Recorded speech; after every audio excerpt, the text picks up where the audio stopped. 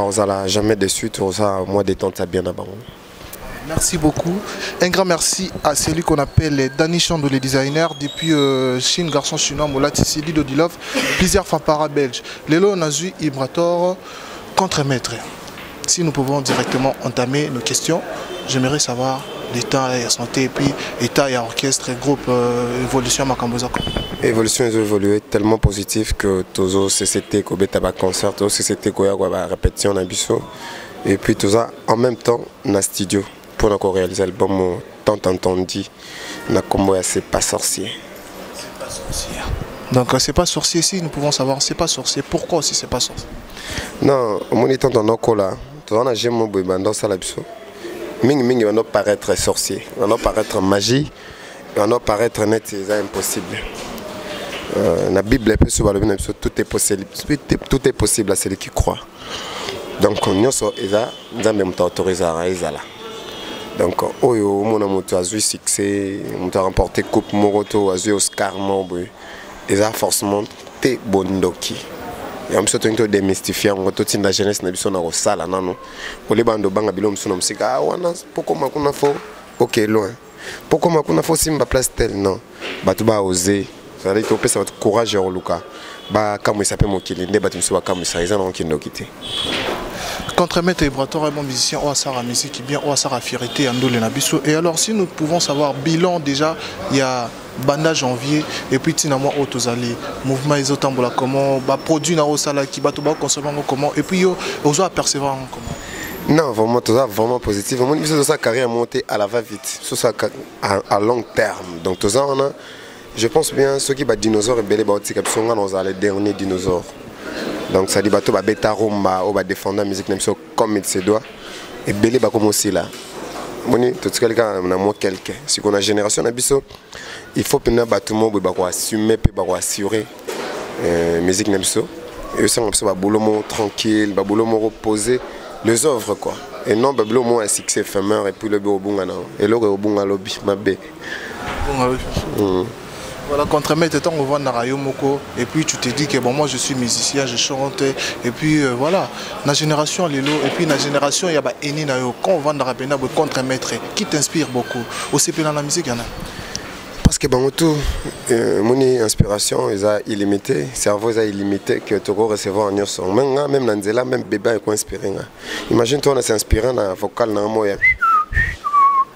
naza ngo na ba hirondelle na olala mpenza na, na, na interna serio wana naokaka cetadi melodi wana etikalanga ndeke ah, nde esala sikoyo ke jour naoyemba eyeli nga beti wana eza l'une des meilleures questions oyo mpe nazalaka nango na toujours na oyamba wana tuna yango idée wana ya siffle wana parce que esala rage na nzembo wana bato bayemba na oyemba na bino bato basepela nango mais place ka ya sifflet nde etikala na moto ya bato moto ako nse moko akotitre ayebi te mais soki obeti sifflet wana automatiquement oyemba yango donc euh, inspiration nango ezalaka nde oui ezalaka bongo ezalaka mpena na sa pongi nga ezalaka na mwana vernis so azobeta batemp ye azobeta ye mosusu yabika oteka mai ngai sikoyo nakomo calcule batemp na ye azosala démarche moko ekosala ya mapapa tchek tchek tchek tchek ngai na obula yango makambo mpe ebele cestadire nyonso inspire yanga donc bamasa tout wana babeta musique bien bazo inspire biso nako ignore moko te contre-maître et alors euh, na carrière na yo depuis obandi carrière solo na yo ntango ovandaka tu te dis nasala banzembo ebele et alors nzembo nini mpenza ntango oyoka yango oyo esala rage esala succès et puis ça te fait du bien oyoka yango na carrière solo na na carrière solo na nga bien ke papa mpona mwana moko kaka te mais nakoloba don de dieu nde eza mpe na likabo ya nzambe likabo e confirmer nga même pas ba grand et ba comparer nga na bato moko boye oyo bakoki même pas kocompare nga donc batye nga na place moko boye oyo fona garde cap wana ti ti bajour na otika bamiziki oyo ah je suis sincère mpo nakuta na bapoliticien ka mpo na nzembo nakuta na bato ya minene ka mpo na nzembo bayebisi nga oyebi ke toza na désolation moko ya masta no bayembaka ba insanité banini mais yo tu parais être Moi logique. Bon, c'est fort possible biso totangi na ba collège, totangi na ba internat, plus ou moins formation ba ba sœur et ba, ba sango, voilà. Toi na moi réglo mo boye makambo. Tout ça c'est ba scoutisme, toi na moi ba loi na ba logique na makambo. Quand quand tu te dis kovandaka boye ovandi mpe oyoka euh, bandeko na oyo bozala na bango na kati ya orchestre moko notamment bina file oyo mpe lelo asali nzembo na ye ezwi mpe carton na yango esali mpe cartouche na yango rage mon choix Euh, ntango omonaki yango oapercevaki yango comment tu te dis quoi non nga nde loba c'est pas sorcier donc ça dit quand moi je quittais euh, baebele mpe bazalaki accuse neti basolola nanga libanda ebele basibisaki bagrandement bazalaki bazalaki vena mal aimé mpoka kocible bango komona ke basolisaka ngai bien na baza frère oyo batikalaki mais on, on, on avait de bonnes relations na bango et bazalaki na baestime so tokutani ata na banzela boye banini e bando amemela moko makambo na orchestre cetadire naza parmi bato oyo na ndo loba bina fila aza contremaître na bainterview na noto je disais contremaître contremaître eza deuxième maître eza moto akoya mpe c'est-à-dire euh, akoya mpe même aux ans oui nayebi ye tozalazala avant kutu mambo ya miziki wana ozoloba donc voilà nayebi ke aza na talent na ye aza mpe ye moko te babebe butu bali bazali bakoya kaka ata okangi baofongwama ya neti biso mpe ya bacontremaître bali bakoya mpe kaka donc tozalaka na motema ya kofongola boye nde bapapa wemba basalaki yo mpo baredia misi yango biso tozofongola na biso soki oza na talent fongwama kaka yo reconnaitre kaka moto apesi makambo esili mais so, so mpe tolingi tosala mwa analyse mwa moke na ocontramettre bina file na départ na ye attitude na ye ezalaki mpenza positif na, na, na fabricas yango eza ti lelo positif eza positif na maestro yango wana ya mosusu mosho esimbi peut-être yo ntango olongwaki par fabricas na interview na yo autre osala récemment awa ah, bina file il est l'un des musiciens oyo ntango alongwe motema esali ye mpasi te et alors ere mosusu te mpo na attitude wana azalaki nango et puis attitude na ye epa maestro fabro et alors toi tu te dis quoi par rapport à ça vous savez quand vous faites la chronique musicale il faut bozala vraiment bien informé et puis bokenda na source ngai aza chroniqueur te mais toza bato mpe totalaka baobservateur oyebi de part ya mon jeune frère file filemo ntango alongwaki oyebi voice moko etambolaka nayebi message oyo etambolaka ke bon quant à moi et puis par malembe tosamba te oyebi message ya voice wana c'était positif nde ozoswana nga bato mosusu baza na besoin ya makeup euh, donc eza mpe bien eza ida bien ke obima na image ya bien biso tout okobima bongo te comprendre bato mosusu aye ye asenga ne pardon facilement aochange mpe facilement eza bato mosusu mpe ah te eh, aochange donc afingi olendi mardi atie neti akomi kosambela mercredi oyo oh, nasambeli mai baoyo oh, basakana na nga okoprendre ça dit azo yeba komi différencier te bina fele aza ndeko na nga te mais c'est un grand artiste oyo toko respecter mpo nayebi ye et puis c'est un frère c'est un jeune frère bonne chance na carrière na ye ye ayebi makambo esalama yo omoni nde eza botalaka mpe omoni mieux vaut la fin d'une chose que son commencement ebandi nde nini seri mobutu wana omona mpe bato bafinga mpe bavie omona mpe euh, après change lisusu ke ngai nakomi nanga bien bato bachangeaka nazoloba no aza no na patience echange mpe susu bor wana otuni ngai wana echange yo nde ezala nde patient echange omami na langage echange mpo omoni papa so aboti mwana soki aza elongi mabe balobaka aza ya banoko mwa azwa elongi ya banoko na ye ekota mama mais soza vrai omwa babi ote oh, aza yanga ayelo ozolongo ozotali boye ekokani ata na ye te so oyoki ata ndenge azolobela na ndenge azoyembela ekokani ata na ye te donc cestadire oyomona kaka ke bon topesaka chance na matutu oyo baoya mpe eh, esimana basi mosusu mpo boye oyoka no pasi mingi te mais mwasi mosusu mpena so akei okoyine tv mobimba parole du contremaître la sagesse oblige wana quand so na bibi na na comprendre mambo olobi ouais so na bibi na comprendre mambo olobi mais mosusu vraiment abala te ah, ye mpena ah. eza histoire na yo ya départ na yo ti na makambo otunga biso ka sagesse oblige mwasi mosusu oboyi ye oyoka no mpasi mingi te mais na banzela mosusu akei mpena omoni neti aboma yo vi mobimba sourire yo mpe oyo ozonga na retard ndenge moko te epuis bwako mosusu oyebi ga te oyo ezosuka na kaka na gambela bwako mosusu oyebi na yango ekokenda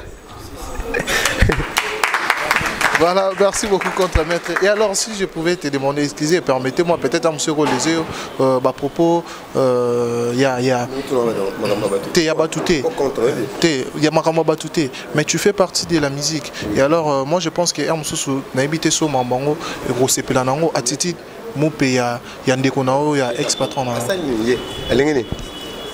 nini mupe na kati ya musique abi abi eza méthode ya sika olinga mema ngo na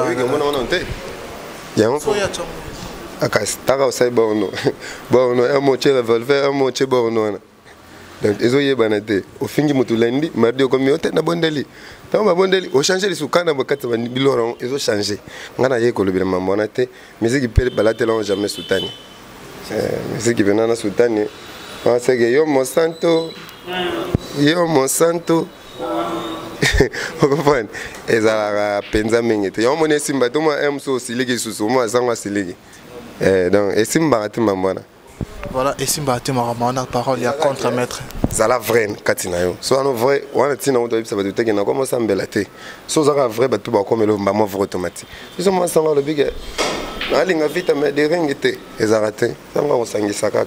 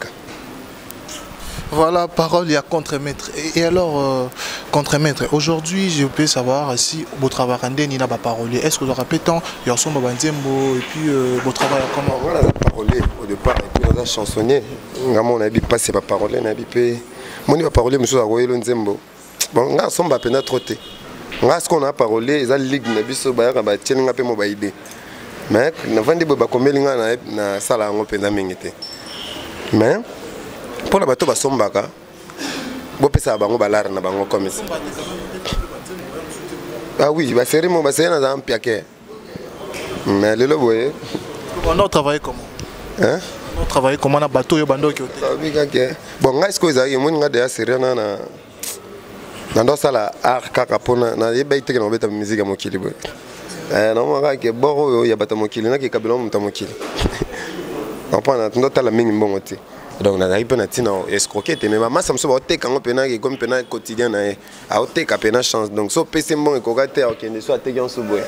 alwa moto atekeli oyo lokolo moko ateki gauche awa iteka gauche weston epanzani moko eke njili moko eke kingabwa yango moni epesa baincident wana nyonso mais le cas ya déplique na maestro yango na beti batekeli likolo ya droite gauche bakende yango boye mpo mso opesa mbongo moke so opesa no mobimba enga ezala mwa genre opesa ya mobimba elingi ezala mwa genre e alors euh, parole babongisa kote wana ya moninga boya boya na nga parce que oneti na histoire wana ya bandeko na yo mibale mpe baza musicien fo tozopesa mpe nana te nga naza juge te naza mpe motu te kena mpona faute ni dire seulement la vérité parce que oza artiste et musicien na temps wana te mais nayebi ke hmm, depuis kalakisa bapreuve oyo elakisaki ezalaki tellement tangible esala kaka ke ba comprendre batya yango suna tv te batya te ke babundana mpo na yango eyebani da verité batye ka na se verité eyebani mpo moto alakisa bapreuve pamonani donc mais eza te soki orevese kaka donc eza kaka makambo ya kosoigne mpo mbaniance ayebi ke fo asoigne kota frère na ye Voilà, merci beaucoup, euh, maestro contre euh, euh, euh Ibrator contre maître. Oui, question, question, on a une minute. Mais la boye tout naoka. Mais parlons, euh, c'est pas sorcier. Et vous nous proposez quoi Manze moni a bien habité sur aussi la biso extrait. Il y a l'homme a bien pro c'est ça. Il y bien il y a sikato sala mote po to quoi Bana te. Makambo wana wa. Zui ka bon ni mo babio. Français nanga français na français na yo. O français na yo da bas ngam na koma kiongo. Ah français na yo. Ah, yikum na français. français na nga français na nga ezalaka te mama wana donc nga na boyi bozoyoka kaka diske eza esa bino bien voilà esa biso batoki ka bora kala buzz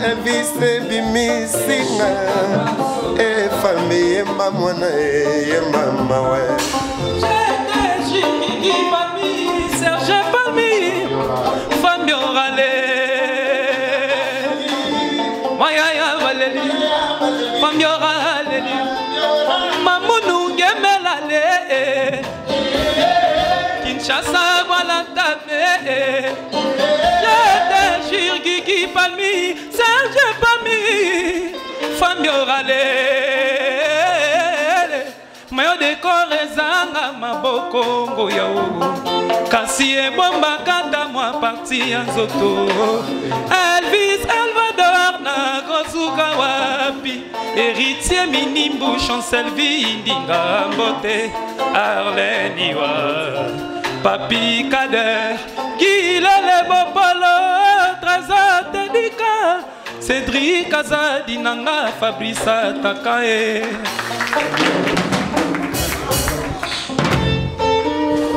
voilà merci beaucoup maïs contre maître en tout cas félicitations merci beaucoup voilà et ici nous pouvons continuer euh, les questions contre maître euh,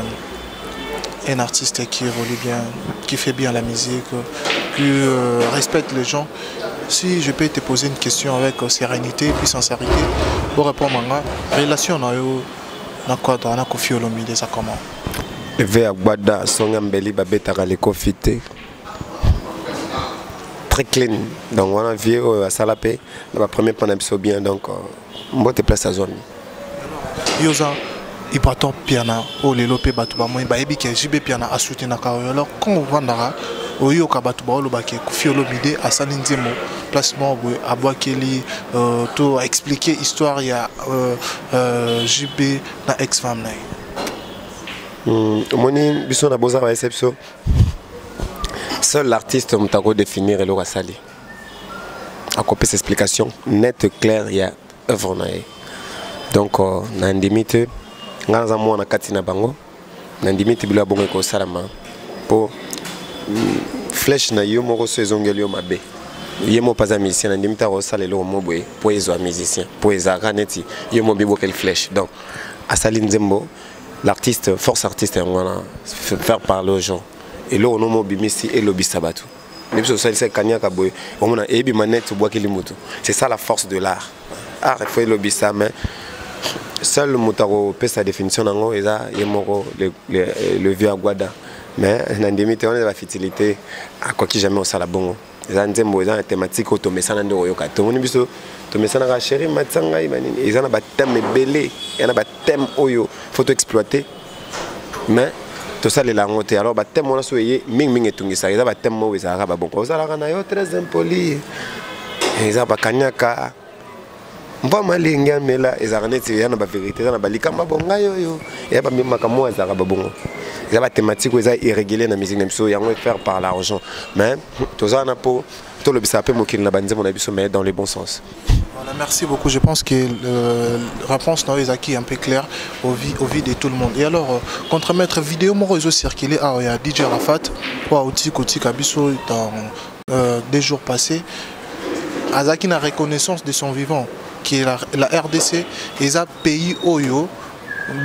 bamiziki babotamaka nango donc c'est inné na kati ya bamisien na biso e alors euh, komona bamisien na biso entre autres bango na bango bazalaka na baguerre d'esprit bino na bino ozalaka na baguerre d'esprit boyokana te oyo na oyo ya mosusu guerre loyale ekoma guerre fort bokuta na place moko boye kara euh, par exemple si il faut être clair basélectionne oyo par exemple na grémi award oke okay, mosusu kuna basélectionne maestro est ce que je pense que bro osola te et alors euh, pour l'avancement ya musique na biso tu souhaites faire quoi tu souhaites dire quoi par rapport à tout ça po basélectionne moto yo kanti bato na bosololaka kuna bino na bino ezala basélectionne yo mpo okenda ndenge na yo ye mpe akenda ndenge na siko bokutani kuna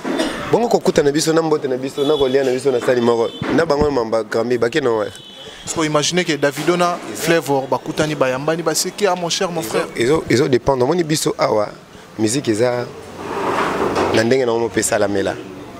kokanisa te biso rancune towana yango awa eleki ya bato baza libanda ya bango eleki plus bozoyeba nde mambo bosala bien te ngai nazala na côte d'ivoire ya des gens mpe bayokanaka te na na baby philippe ya des gens bayokana mpe te na de bordeaux bayokanaka kutu te yango ezalaka na koto 100 bayanke koto 100 bayanke baye na boite esalaka mais so moni ya bango edebordaka te wana ekomi sikoyo éducation ya mboka culture ya mboka biso mchiki déjà tozolinga kosalela yango te biso soki kaka miziki kaka mwana no kaka bandi kaka koyemba kaka eh, mama oyo meme pa nani pa ibraton c'est-à-dire azwi ntango ya koleka na bande de l'école te mpo epesa ye baleçon morale epesa ye basivisme moko oyo ekozala blende mpo na ye à part no mambo yemba mutu fo azana mutu siko biso da tozo rate pe mo éducation mukie mukie mais wana ekomi makambo teke musicien te ekomi makambo ke moto aza éduqué te aye osala mpe makambo ya éduqué te ne na miziki amérique moto eleki biso na makambo nyonso amérique eza na barankine koleka biso na makambo ya miziki yango kuna flingue pene bima comprendre donc eza nango makambo moko ezalaka ezalaka nango mais bango kuna bazalaka na mwa forme moko ya loyauté donc euh, x akobenga x x akosangisa x na x mais bino mpenza awa ekomaki so producteur aye meme atie mbongo mpenza boye okoboya no mpe te ya biso sikoyo eza motema mabe omoni moto mosusu aza motema mabe alingi te bato babima mpe mpo ye mpo abimaki mais koma motema mabe wana eza mama mosusu mpe kaka sika motema malamu wana mpe eh, soda biso ozalaka te tobimisa mpe nzembo mwa nzembo esali succès tata mwasi na bino mpe alinga yango mais yo olinga yanonga te mais tata mwasi na bino fan nango comprendre eza nango sans frontière donc miziki eza miziki tobetaka miziki oyo akolinga kosauve moninga asauve moninga oyo mpe olinga te mpo ebandi mpo na biso te ebandi depuis kala ezomona teke ebongo ya mosusu mpe ezorabaisse biso musique na biso ezokita toujours na se parce que à l'époque même rumba eza kosa barrage bacarton yango mais aujourd'hui mingi générique non eza makambo wana te maladi ya place mosusu états-unis nandimi te barapeur wana basalaka rankine te to ranki na bango eza ata ya ndambo ya biso ya bango eza ata 1000 fois ke ya biso mais musique na bango ezomata ezomata kaka biso eza mambo ya baindustrie musicale ezala ezala si badroit ya bamusicien barevenu na bango barémunération na bango ezala si eh, comprend comprend et puis omoni bamisusu eza bampiaka moto abimisi diske boye 32 chanson ya mosusu ezwi te parceke oyo obimisi moko boye amoni ete ezwi akolingo mpe te to azweli yango mbongo te rankine mais moto mosusu babebi philippe wana basala baguerre aa na mbongo na ye asala guerre na mwa élégance moko boye siko moto mosusu mpena motema mabe plus mpiaka so ya miziki esali so fort Voilà, et alors, euh, si nous pouvons s'en passer, Naïlo Rowana, et aujourd'hui, quand tu t'es dit, au Vandi, au Tali, je suis artiste et musicien congolais, euh, euh surtout, nous tout moko ou représenté emblème Nabiso, au Kotangana. Na Otangata, papa chéri. pourquoi papa cher aza bin na dame soki oyebi te papa cher aza bin na dame donc donc so tolingi tolobela actualité et actuellement moto aza plus sollicité c'est fallait pour pas l'étranger tolinga te ah oh yo tolinga peti mais hasel aza daya le king wana ve na biso mpe kaka ngai nabi mon choix mon choix otoningi choix na ngai te nalobaka nalobaka mwa papa cher nalobaka mwa baboye papa chéri ça date de longtemps aza sur terrain te ça date de longtemps aza sur marché te eza boye eza na bato mosusu oyebisi michael aleki ibrator akoyoka na ye te comprendre c'est le choix d'une personne et bakotyela yango arme te mpo andimaka eloko oyo ozomona neti normal nga naza nanu pouvons dire actuellement actuellement nalobi kaka papa chéri nakoloba nde sur le marché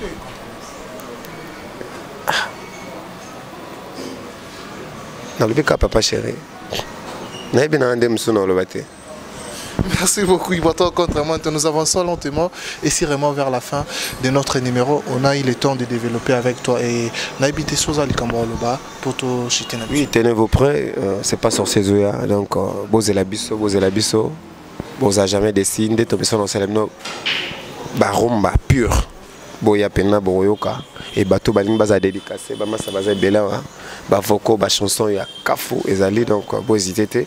e merci ndenge oya kotala biso on est en plan studio baya baya baya basolola solola e tosalela bango disque moko pas comme les autres napesi mbote na gi basket napesi mbote na ado jabir et puis na ladi galvanda galvanda baladi napesi mister siatou louis vandam bilamba ee eh, london gezola city london city bambote ebele mpa na yo hélène hk silence tor kadi mvwama bambongo ebele napesi mpe bato tu balingaka nga mbote voilà maestro avant tokaba nao naotika elonga nao des années osala biso ata extra moke ya don de dieu pour faire plaisir à tous les mélomanes et puis les abonnés ya africa ya dugosip drc bogambia oyo euh, ado jabir sa majesté merci beaucoup voilà nous sommes arrivés à la fin de notre numéro j'étais bien avec ibrator euh, contre maître olelo oh, mpe babengai ibrator piana il a bien parlé l'émission s'est passée très bien si vous avez aimé l'émission n'hésitez pas de liker et de vous abonner ça nous fera énormément plaisir